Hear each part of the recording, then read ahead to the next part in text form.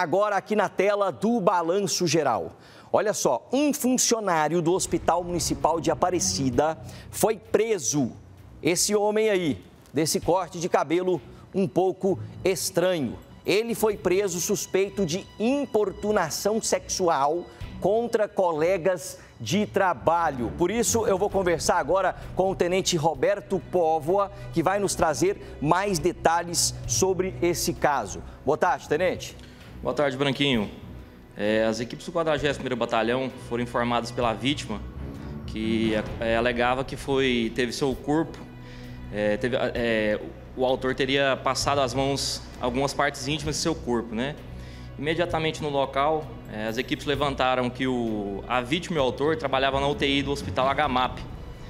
É, diante dessas informações, os dois, tanto, tanto a vítima como o autor, foram conduzidos até a Central Geral de Flagrante de Aparecida de Goiânia, onde foi apresentada a situação e os fatos ao delegado plantonista, que optou por é, autuar esse autor em flagrante pelo crime de importunação sexual.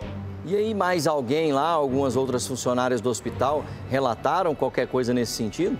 Bom, Branquinho, a princípio, para nossa equipe não, né? Mas um fato bastante curioso que a vítima nos relatou que esse autor, ela percebia isso, que ele sempre se aproveitava de, de uma vítima do sexo feminino, de uma pessoa do sexo feminino. Quando ele adentrava esse recinto que eles utilizavam para descanso, né? Em seguida, esse autor adentrava atrás. Nossa, e aí ele cometeu isso aí contra ela. A vítima ali com certeza, né, ficou. Ainda bem que ela conseguiu chamar a polícia, porque em muitos casos isso, a, a vítima nem consegue, né, tenente? Exatamente. Ela nos confessou que ficou em dúvida se chamava ou não a polícia, mas pelo estado emocional é, abalado dela, ela optou por, por denunciar essa, esse crime, né?